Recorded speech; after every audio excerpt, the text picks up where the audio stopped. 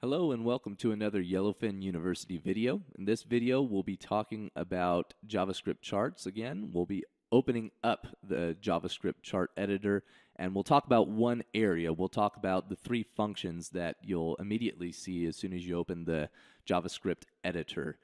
Um, you know, we were going to do a couple different areas in this video, but it ends up being a little lengthy as I do go into a little bit of detail on each of those functions. So we're going to break it up. We'll just do the three functions this video, and we'll talk about uh, the options object in another video, how to use the require.js in another video, and um, you know, finally we'll touch on the building of a chart in another video where we'll use Google Charts um, to build a very simple, maybe a bar chart or a pie chart, um, and just show how that works within Yellowfin.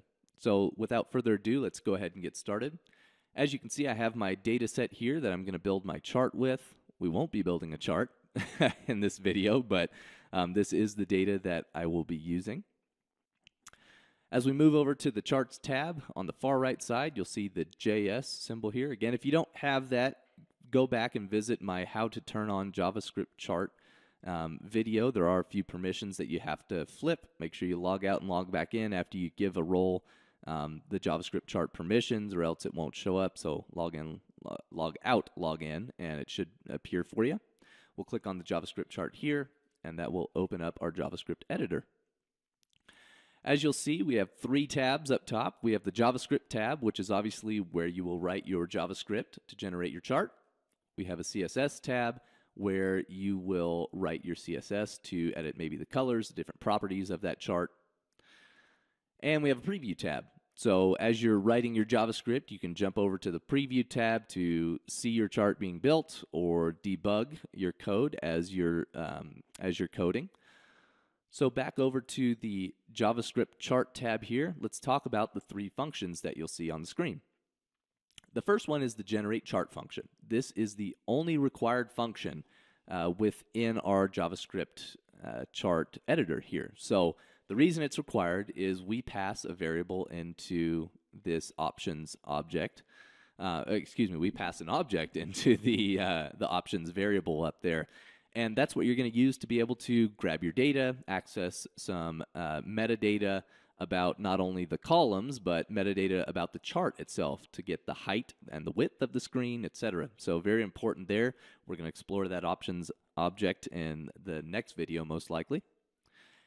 And you'll see here we have a debugger already coming in um, already coming in this function. The reason we put it at the top is so you can immediately start to explore your options object once you open up your developer console. Um, we include the chart draw div, so we're calling this the chart draw div, and again, that was in the options div selector, and that's where you're going to be drawing your chart. So you will draw into this div.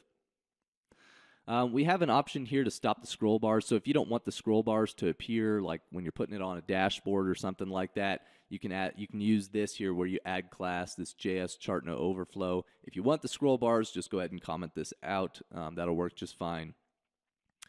We have the height and width already set here for you if you want to use that. Um, I, again, I highly encourage you use height and width. That way, when you build your charts, they will be dynamic. So as your screen size changes, um, so will your chart. Here's where we grab the process data function, so the outcome of your process data function down here. And that's what we'll pass into the do drawing function, which is the final function down at the bottom where you would draw your actual chart. So the bottom two functions, process data and do drawing, you don't have to use. Um, we put them down there for best practices. It's always good to break up your code into the function, logical functional areas. So process data, we pass the data set variable into here, and that's going to be the data object, which contains all your data. So you can um, manipulate your data as you need to be able to build your chart here and then again we set the process data function we set processed data equal to the process data function you have to make sure that you return something in this function if you don't at the bottom say return result or return whatever your result is um, it's not going to return anything and it won't draw anything so remember you got to use the return statement on this function in order to return something here in the do drawing function then we have do drawing. This is where you could actually um, do your drawing of your JavaScript chart.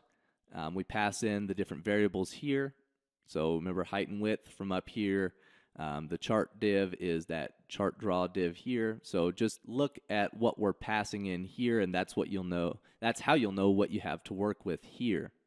Um, we have the require statement in here. We use require.js when we want to call different libraries in. So D3, for example, is the standard one that we're using.